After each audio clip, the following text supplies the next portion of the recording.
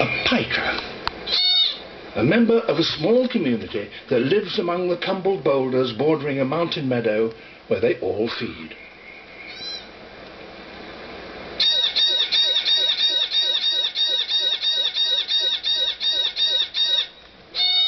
That's a warning call, telling other pikas that this patch is now taken. Pikas start their foraging early in the morning. They eat all parts of a plant, not just leaves, but the flowers as well. But grazing out in the open is dangerous.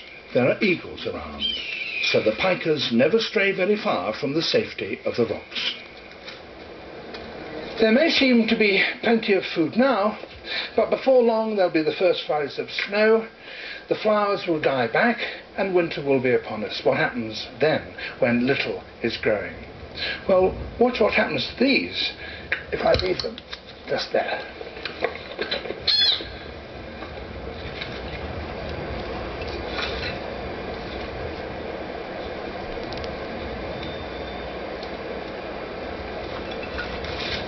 It's not eating my flowers, at least not yet.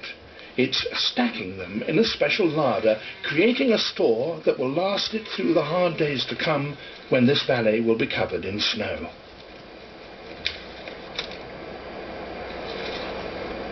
It'll need a stack several feet thick if it's to survive the winter.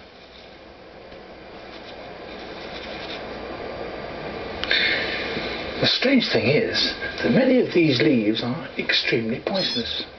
So why does the pika collect them? Well, the poison acts as a natural preservative, and the leaves remain fresh until midwinter. So in the end, the poison works to the pika's advantage. But the pika's preparations are more subtle than they might seem. It takes care to collect a variety of plants. Those with only a little poison will become edible quite quickly whereas those with a lot will remain fresh until almost the end of winter. Each little pika may make several hundred trips a day, literally making hay while the sun shines.